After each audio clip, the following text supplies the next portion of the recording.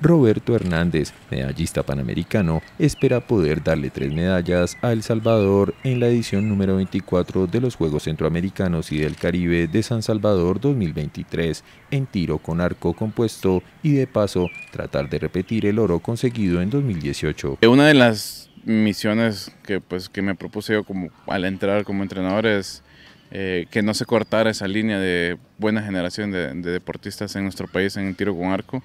Eh, como decís, en Centroamericanos del Caribe siempre hemos sido una potencia.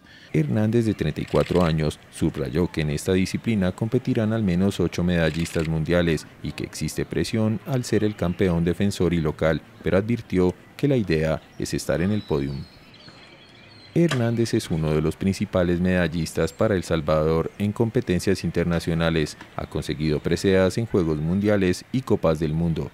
También oro en Juegos Centroamericanos y del Caribe y en Juegos Panamericanos. En los Juegos anteriores, eh, pues ya la presión que recaía únicamente en mí eh, como deportista.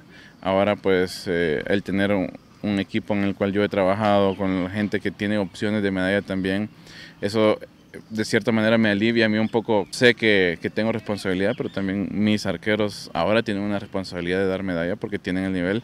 San Salvador fue sede de los Juegos Centroamericanos y del Caribe en 2002 y Hernández recuerda que vivió esta competición como un joven voluntario. En estas dos décadas se convirtió en el principal referente del tiro con arco compuesto y en uno de los encargados de mantener a su país entre los competidores más fuertes de esta disciplina.